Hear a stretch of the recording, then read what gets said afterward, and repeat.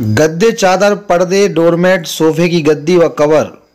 दोहर, कंबल, रजाई मिलने का स्थान, अप्सरा इंटरप्राइजेज बजाजी लाइन दमोह। एल में बाहरी एवं ग्रामीण एजेंट भर्ती 6000 हर माह और 25000 से अधिक का कमीशन, केवल 280 पद। योग्यता दसवीं पास, उम्र 25 वर्ष से अधिक, जल्द संपर्क करें। आशीष जैन, भर्ती अधिकारी, मोबाइल नंबर नब्बे, नौ सौ अस्सी, तेरह, दो सौ उनहत्तर। पचपन से लेकर पचपन तक। हर उम्र के रेडीमेड कपड़े व साड़ियों का संपूर्ण कलेक्शन एक ही छत के नीचे। Kids wear, girls wear, ladies wear, men's wear. Radha Kishan super marketing, बूंदाबाऊ complex, Damoh. बाज़ार से कम कीमत पर उपलब्ध। नमस्कार, आइए नज़र डालते हैं दमोह ज़िले की दिन भर की बड़ी खबरों में। दमोह ज़िले के हिंडोली थाना अंतर्गत ग्राम भदौड़ी चौपड़ा के पास रोड के किनारे ट्रक पलट गया। ट्रक चना से भरा हुआ था और दमोह से कटनी की ओर जा रहा था। हालाँकि कोई भी दुर्घटना में घायल नहीं हुआ। अवैध रूप से सैकड़ों टाई का परिवहन करके डाले गए थे। मुख्य मार्ग पर झलन रंजन पूर्वी शहर को लगी जानकारी। तो शुरू हुई जब्ती की कार्रवाई। बीस टाली पत्थर किए गए जब्त कार्रवाई जारी।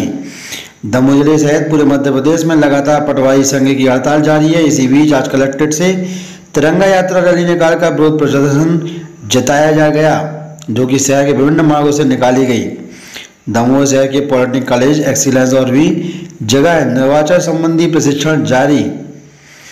नगर के मुकेश कॉलोनी स्थित सिंहवानी माता मंदिर में चल रही संगीतमय श्रीमद भागवत कथा के तीसरे दिन कथा व्यास पंडित संजय शास्त्री जी महाराज ने कहा कि देवताओं और दानवों ने मिलकर समुद्र का मंथन किया था, जिसका कारण दुर्वासा ऋषि ने अपना अपमान होने के कारण देवराज इंद्र और माता श्री लक्ष्मी से हीन हो जाने का श्राप दे दिया था। बड़ी संख्या में यहाँ श्रोता कथा रस पान करने पहुँच रहे नवजागृत स्कूल के पास आवारा मवेशी को बचाने के चक्कर में कार एम पी बीस सी एफ़ सैतालीस चौरासी डिवाइडर से टकराई। कार सवार सभी सुरक्षित। घटना करीब सात बजे की बताई जा रही है।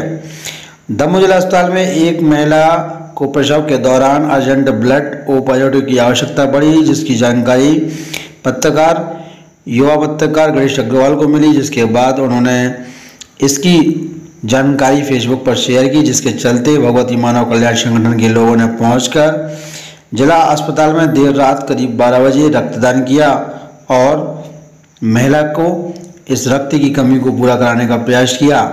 नित्यदान पखवाड़े के अंतर्गत आज दमोह जिला अस्पताल में जागरूकता रैली का आयोजन किया गया, जो कि दमोह के विभिन्न मार्गों से घंटाघर बस स्टैंड कोऑपरेटिव बैंक चौराहा से होते हुए वापस जिला अस्पताल में समाप्त हुई।